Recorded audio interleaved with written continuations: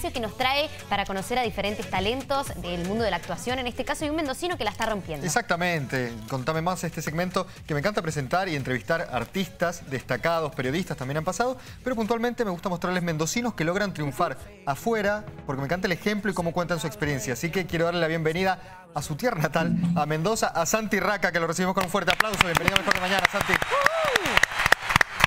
Buenas, ¿cómo va? ¿Cómo estás? Buen día, ¿cómo están? ¿Todo bien? ¿Se escucha bien? Pero perfecto. Muy bien estamos. Bueno, un placer, un placer estar acá. No, vos Santi, gracias por, por sumarte a este segmento. Me gustaría primero que nos cuentes cómo fueron tus comienzos aquí en Mendoza, cómo descubriste tu vocación, esos primeros pasos en el mundo de la actuación. Eh, fue raro, fue un, fue un impulso interno, ¿viste? Lo de la actuación. Yo venía de, hasta los 19 años, nunca toqué un, un escenario, una, una cuestión ahí. Fue algo interno que le dije a mi viejo, me voy a Buenos Aires a ser actor, ¿viste?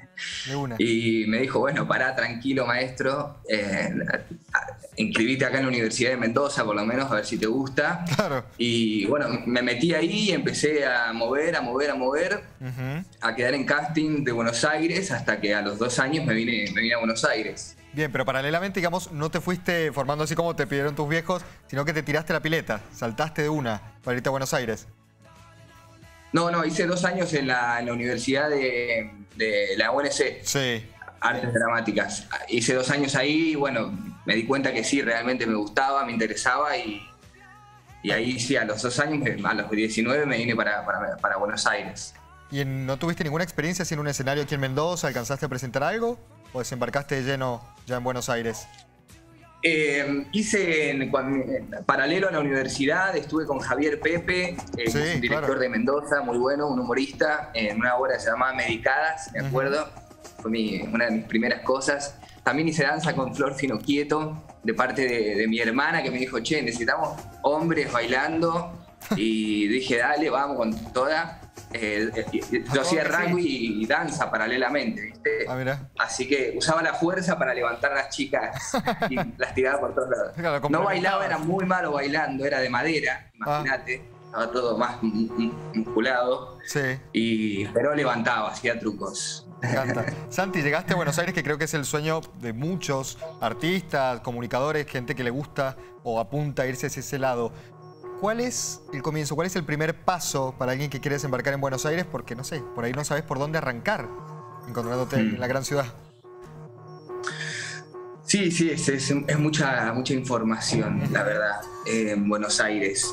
Creo que, es lo que te decía más, más temprano del impulso interno, ¿viste? Como creo que para el artista y para el actor sobre todo, en poder conectarse con con el impulso interno es fundamental. Ahí escuchar realmente para dónde te, te lleva ese impulso, a dónde quieres ir, dónde te lleva el cuerpo. Em, y, la, percepción, ¿viste? De, ese, no sé, es algo como fuera de. No sé si te lo puedo explicar.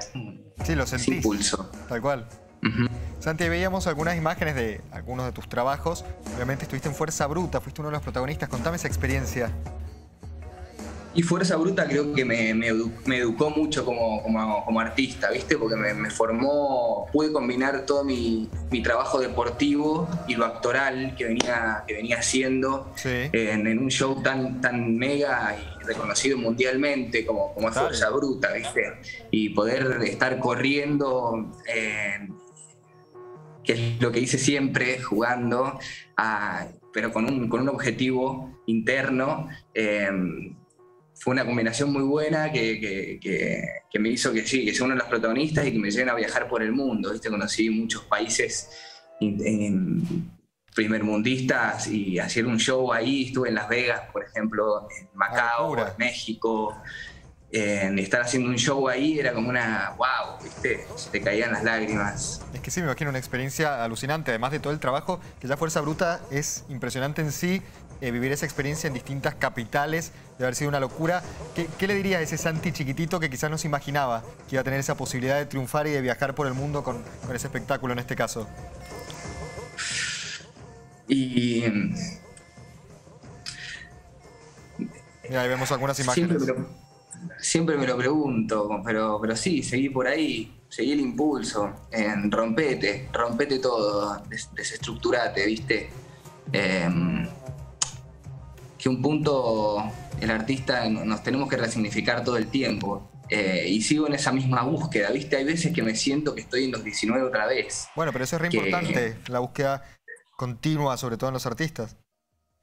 Mm, sí, sí, y que, volvemos, son ciclos, ¿viste? Son ciclos que cumplimos como la vida.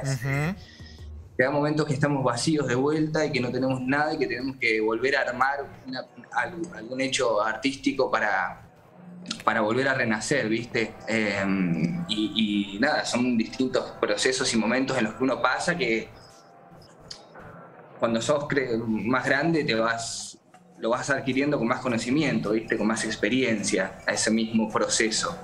Em, Aparte me imagino también eh, la experiencia que te genera el compartir con colegas, con artistas, quizás con artistas de otras ciudades, eh, en la gira, debe ser muy nutritivo más allá del trabajo en sí, la experiencia que te queda. Sí, bueno, con, en, Las Vegas y Macao, por ejemplo, que eran hay muchos shows, nos hicimos muy amigos de, la gente del Cirque du Soleil eh, y salíamos, nada, eh, todos los días éramos 60 artistas de todo el mundo, porque el Cirque du Soleil tiene gente de todo el planeta, ¿viste? Geniales, que, que te empezás a tirar información, tomás clases con ellos, ¿viste? Ellos toman clases con vos esa interacción de diferentes escuelas que te, abre la cabeza, ¿viste? Total. Sí, te explota. Está buenísimo. Ahí veíamos también otras imágenes de Desertor, una de las películas que protagonizaste. ¿Cómo fue esa experiencia? Sí, que bueno. Ahí estamos viendo. Y Desertor fue una de las cosas más bonitas que me pasó porque fue un protagónico con actores de, primera categoría y claro en la ciudad donde, donde nací, ¿viste? Como se filmó ahí, fue producida, bueno, por Marcelo Ortega, que estuve hablando hace poquito con él, que es un, productor eh, de primera categoría, de primera categoría, y es un placer que sea mendocino y que, empuje tanto lo audiovisual y lo, teatral en Mendoza, que, no está tan reconocido y que tenemos artistas mendocinos, la verdad. Eh, sí, increíble, por eso me encanta mostrarlos mostrar el trabajo que están haciendo, porque hay mucho talento acá en Mendoza y también hay mucha gente que por ahí piensa que cuesta llegar o que no se puede, pero bueno, ustedes son, son el ejemplo.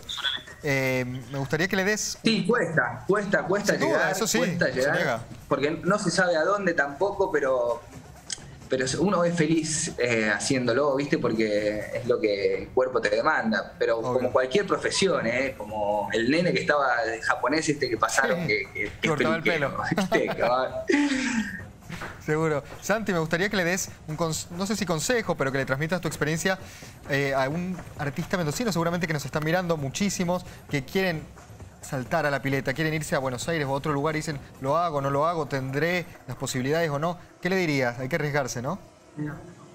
Sí, sigan el impulso, sigan el impulso ese que los, que los, que los rige. Si está ahí es porque lo tienen que seguir. Y, es lo más bonito que te puede pasar. Es una liberación hacia un camino infinito que, trae felicidad y luz y, cosas lindas.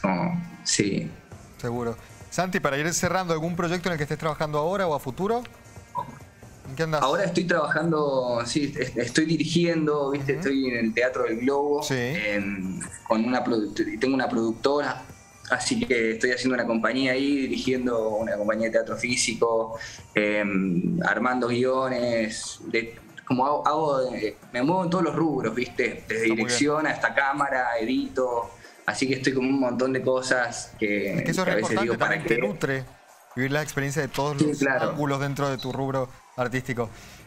Sí, creo que es muy importante saber sobre todo, digo, es tan importante el actor como el, cámara, como quien pone las luces, como son, son todos partes de, un, de, un, gran, de un gran producto, ¿viste? Así que es buenísimo saber de todo. Seguro que sí. Santi, muchísimas gracias por sumarte. Me quedo con esto que decías del impulso, seguir los impulsos, saltar, que, siempre va a haber una red de contención. Gracias por sumarte y quiero que le mandes un beso enorme a tu vieja, que fue mi profesora de inglés, la mejor que tuve. Así que le mando un beso enorme a Laura y gracias por sumarte a este ciclo de entrevistas. Bueno, gracias, gracias a vos, Lucas, querido. Un placer estar acá. Un re lindo programa. Les felicito a todos ahí. Muy lindo, lo estuve viendo. Y un saludo a la vieja que nos, nos está viendo. Dale, la- Gracias, Santi. Éxitos. Placer. Nos vemos. Nos vemos.